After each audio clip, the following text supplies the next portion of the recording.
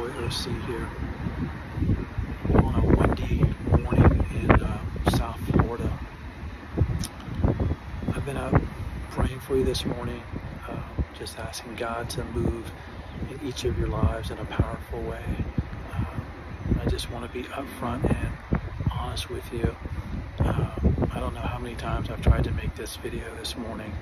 Um, my today is uh, one of those days where my my brain um, is having a hard time um, with with um, with my thoughts and with my words. Um, that's just part of the uh, it's part it's part of the health journey that I'm on. That some days my brain uh, works a little bit better than other days. Uh, today is just one of those tough days uh, it's difficult for me to um, get my thoughts out in the way that I would like to. Um, so this could be a very interesting uh, uh, video. Uh, I wanted to share something with you that I that I wrote last night. Uh, so I'm going to give it my best shot, and uh, hopefully it will make sense. Today's a new day.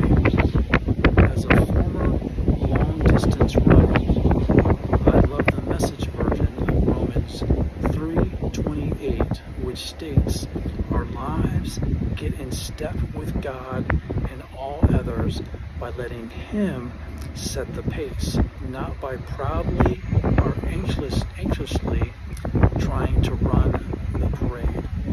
I definitely can relate to that uh, scripture.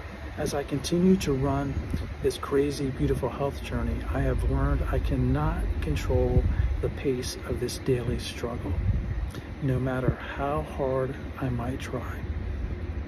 Every day I realize more and more I need God to set the pace, and I am determined to run the race He has designed for me. This health journey can be overwhelming at times, like this morning. But I know this crazy, beautiful journey, health journey, sorry, but I know this crazy, beautiful health journey is bigger than me, bigger than the multiple, multiple health issues that are destroying my body on a daily basis.